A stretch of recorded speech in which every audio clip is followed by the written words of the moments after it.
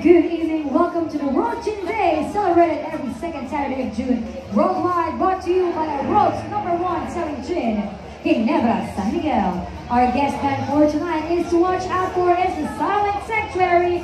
And all you gotta do is join us and avail our World Gin Day package for only 399 pesos. You get a chance to win a raffle draw and the package consists of one signature cocktail tower and one small pulutan platter brought to you here at the Central Barbecue Sucat Paranaque. Thank you so much.